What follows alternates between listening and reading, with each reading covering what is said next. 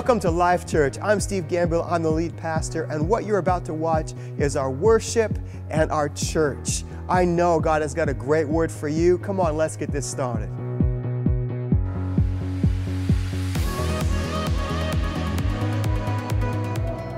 Father, I am yours. My sin shame, there at the cross,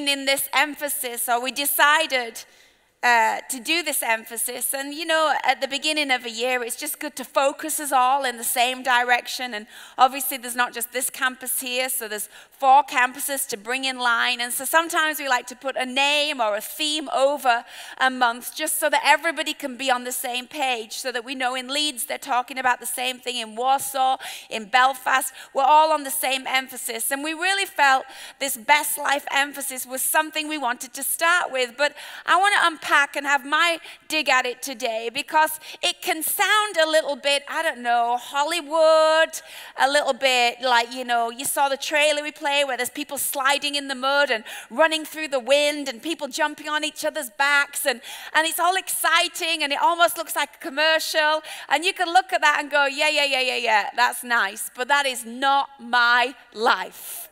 I don't slide through the mud to have fun. I'm just in the mud. I don't have somebody that I want on my back. I have a monkey on my back. I, am not getting up and going to the bus stop in the rain in the morning, excited like I'm flying into work. I am dragging my feet into the job that I hate, that I still have to go to on Monday. And I prayed to God last year He would take the job away and give me a better one. And He hasn't, and I still have the job. I mean, that's like the reality, okay? Of what many of us live in. We're not ignoring the reality, we're just shifting your perspective to say there is better, and better comes by us understanding God's best life for us. And I just want to take my uh, session this morning to maybe look at why we don't live our best life. Because the truth is, we can say we want it and we can pray about it and we can write our thing on a, on a note, which I hope you're doing out on the board out there, where it says you can pick up a, a piece of paper and write what you're believing for. In fact, we went and looked, and some of our team are praying, and on there, some people are saying, My best life, I'm believing for a husband.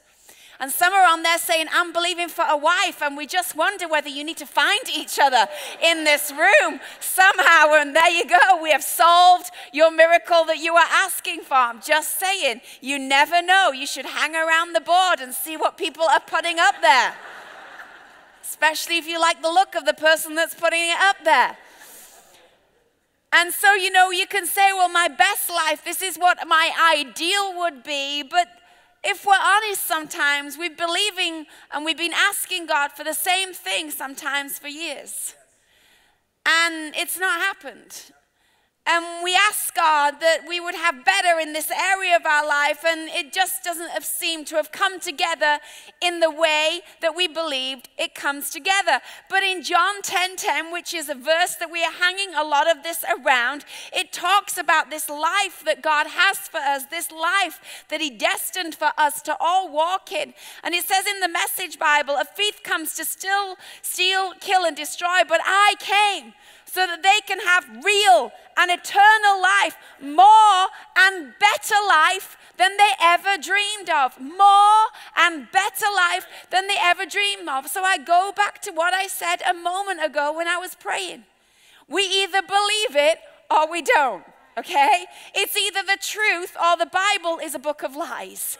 But I think you're here this morning because you are believing and you are saying, That's what I think God has for my life. I, I think there is better. I think that this life, and I love it says real because it's not fake. It's not phony. It's not this glossy pretend life. He came so that you can have real, eternal, more, and better than you ever dreamed of. Now, some of you, you need to start dreaming all over again. Because some of you, your dreams are pathetic. And God's a big God, and you need to actually expand your dream. But we can have a scripture like that and we can read it and we can have it as a fridge magnet and we can quote it and we can keep referring to it all through the month of January and beyond. But the truth is that in order for us to have that as a reality in our life, we also have to do some work. I know it sucks. I know you just like God to zap you and give you the best life ever, but God works in partnership with us. God is a good father. God wants to give you things that when He gives it to you, you know what to do with it, how to unpack it, and how to have it work in your life. And so I want us all this morning to do a little practical work, okay? This is going to be a message that makes you have to do this. Is that all right? You might not wave your hanky at me and shout hallelujah and run around the building because you felt the anointing. You might go home with a list of notes. And those list of notes are going to be things this year that you're going to have to come back to, like a homework page, and go, I think I need to go back to what I've stopped working on because actually God's word's not faulty. I've just stopped working some of the things that God has taught me or is teaching me how to live. Now, let's start by this being the first practical thing that we break this down with because that's a big statement your best life. What does that mean? Well, well, some of you might go, Well, I like my life. I don't need any more than what I've got right now. My life is good. But I believe in all of our lives this year, we can go for something better than was last year. Okay, so I want to challenge you this year so that this word becomes practical in three areas to begin to focus in and say, What would be better for me this year in this area? So, spiritual, natural, and relational. Just start there. What would be a better life for me this year in my spiritual life? How can I take my life from where it is right now and by the end of 2018, spiritually, I can look back over the year and go, this year for me spiritually was a better year. It was, it was a better year. It was a best life year spiritually. Maybe, let's get really practical. Maybe for some of you, and you don't have to put your hand up if this is you, you can, you can just note it because you don't want to be embarrassed by it. But maybe some of you should read your Bible. I know. It's a shock, isn't it? That it doesn't have to just get opened on Sunday by a preacher. You can actually open it regularly. You can even get an app that helps you how to read it. You can even set your phone so it beeps and says, Read me, read me, read me. And I know you know how to look at your phone because many of you are on it many hours of the day, posting posts and liking likes and commenting on comments. So I know you have the power to do this, but sometimes we take something like this subject and go, I just, I feel like I didn't have a better year. And I want to bust you by going, yes, it's because you didn't do anything different to help your year be different. So, so let's just start there. I'm going to have a better spiritual year this year because I am going to pray. What you mean, like on my own? Yeah, like on your own. What you mean, like, like, do I have to go in a prayer closet? I don't know. Maybe we should lock you in a cupboard to get you praying. Uh, maybe that would be a good place for you to start. Well, you, how long does it have to be? I don't care. Just begin. So by the end of 2018, you could be the biggest intercessor prayer warrior in our church. Your year would look completely different. I know this is like, like simple, but why is it the simple stuff that we avoid? So, spiritually, how can your life this year maybe going on Bible college? Maybe taking the evening course. Maybe you say, Well, I don't really feel like I know how to study the word. You just saw it on church news. Starts on Tuesday in January. Get the information and make your life spiritually a better year. It's really not that hard. What about in the natural? How many more times are you going to try and squeeze your thighs in those jeans? How much more baby oil are you going to rub on the side of your legs to get in your pants? Don't pretend you don't do it. Some of you are like, that's a good trick. I didn't know. It's like lathering up the turkey to get the trousers on. Steve does it every week. No.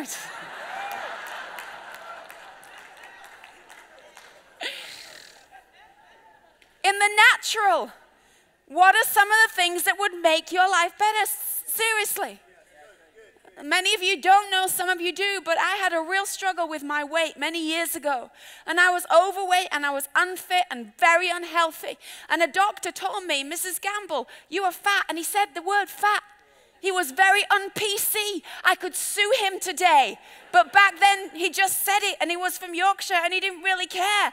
And the morning that he said it to me was the morning that I got out of bed at 6 a.m.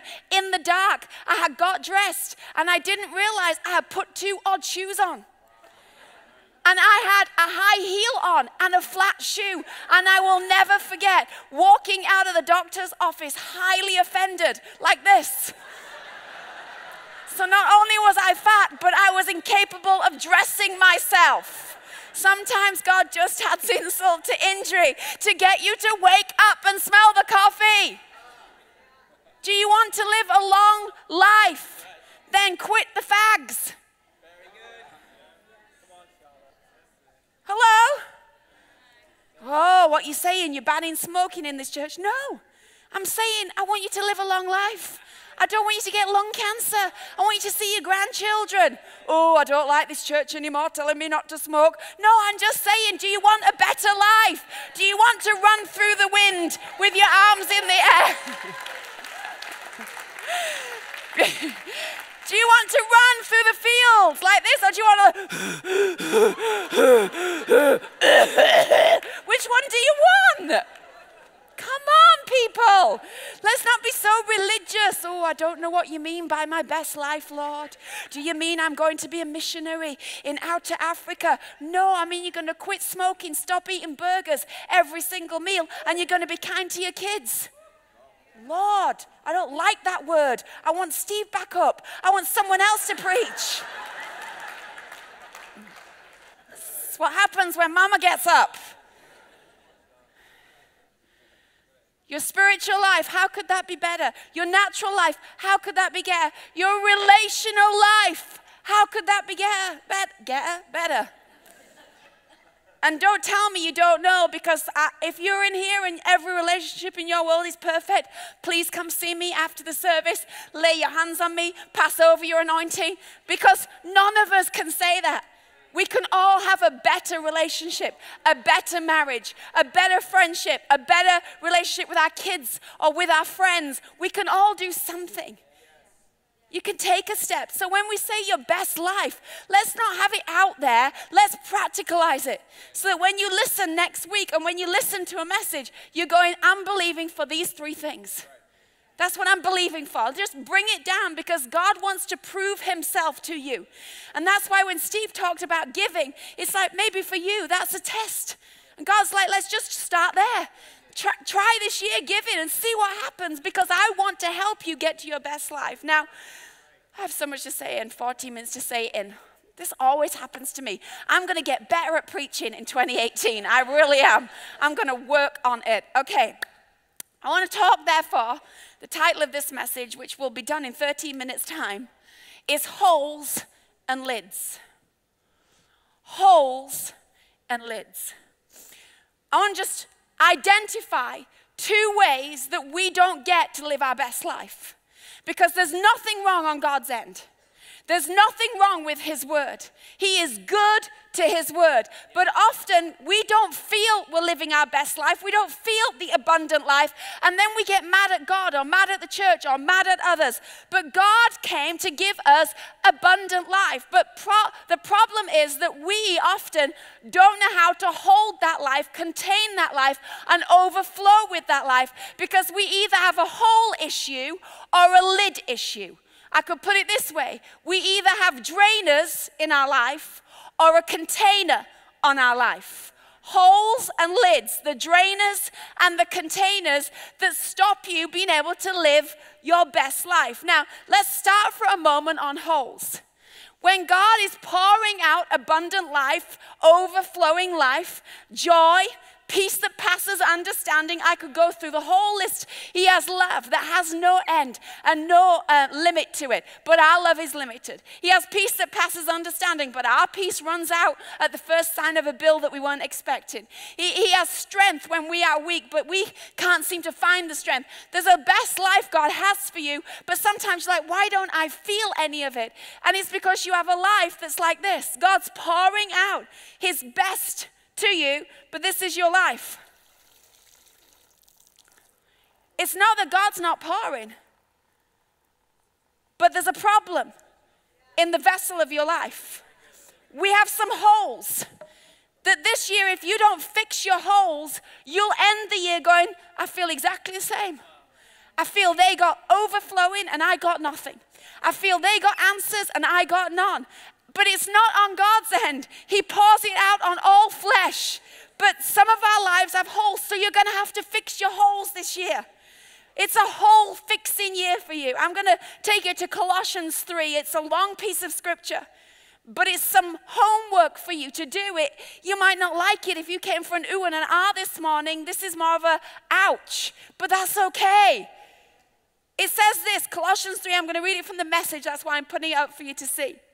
So if you're serious, ask the person next to you, are you serious? Because even that's a question. Are you playing Christianity? Are you serious? Are you in and out of church whenever you feel like it? Are you serious? Do you really want your breakthrough? Are you serious? It's like you've got to get serious about serving God, serious about loving God, serious about it. Or you can be casual, but if you're casual, guess what? Don't get mad when this happens. This is some of your life. And I want to help you. But you're going to have to fill the holes. If you're serious about living this new resurrection, better life with Christ, then act like it. Pursue the things over which Christ presides. Don't shuffle along. Some of you even need to change the way you walk. Let's just let's just start there. Living my best life. No! Head up! Child of God, today's gonna be a good day. I'm happy.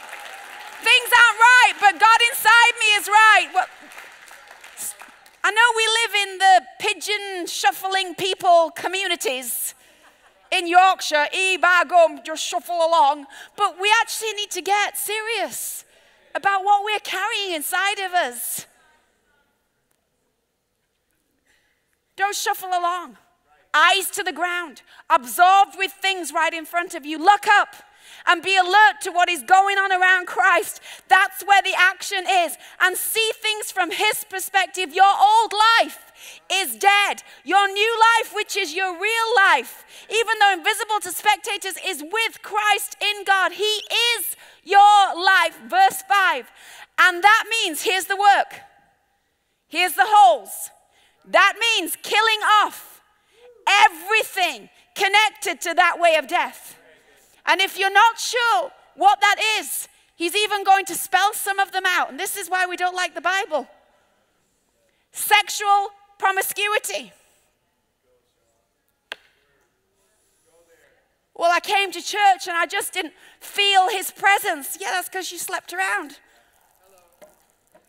Throughout the week, you had a one night stand and you're now feeling the shame of that and the dirt of that. And God's like, I have better for you than that. I, I have wholeness for you. But you've come to church with your holes and I'm trying to heal you and fill you. But you have to do something about the things that you're doing. God doesn't judge you, He's not waving a finger over you. He's just saying, I want you to have a better life. But we're going to have to this year fill that hole. The reason why you're doing that is there's a hole in you. And I want to fill the hole because that's the better life for you. The list goes on sexual promiscuity, imp- impurity, lust. Listen to this one doing whatever you feel like, whenever you feel like it. Hello, young people. Can I get an amen? amen? Doing whatever you feel like. I don't feel like going to church. I don't feel like being honest. I don't feel like showing up for my assignment. I don't feel like I should be kind. Your feelings will lead you amok this year and put holes in your destiny this year. Fill the holes. It goes on to talk about not doing whatever, not grabbing whatever attracts your fancy. Hello, young men. That's a life shaped by things and feelings instead of by God. It's a life with holes in. It's because of this kind of thing that God is about to explode in anger. It wasn't long ago that you were doing all that stuff and not knowing any better, but you now know better. So make sure it's all gone for good. And if you didn't like that first list and you're ticking the boxes and you're like, I'm not sexually promiscuous, I'm not being doing all that stuff, it doesn't stop. Oi, and that bad temper, and that irritability, and that meanness, and that profanity and dirty talk. I mean, and that lying is the next line. God's like, I'm just letting you know, I have a best life for you. But you got some holes, and you got to fill them. And if you just choose one, at least it would hold a little more than it held before. If you begin to fill your holes this year, then I can begin to help you have a better life. The leakage is all inside of you. There are things that are draining your best life, your best marriage, and God wants you to fix it. Well, how do I fill the holes? Well, God's really kind and tells us that too. And he goes on in verse 12, saying, So, chosen for this new life, dress yourself, fill your holes, clothe them with compassion Kindness. If you need to get rid of the hole called meanness, start filling it with kindness. Kindness, compassion, humility, quiet strength, discipline. Be even tempered, not hot tempered, content with second place, and quick to forgive. He's like, this is how you fill your holes. It doesn't get filled in a prayer line, it gets filled by you going away and dealing with your temper and making that the hole you fill this year. And then it says, let the peace of Christ keep you in tune with each other, step with each other, and cultivate thankfulness. Let the word of Christ, the message, have the run of the house. Give it plenty of room in your lives. Instruct and direct one another using good common sense and sing your hearts out to God. In other words, you need peace, you need community, you need the word, you need gratitude, and you need worship. That's what you need to fill these holes.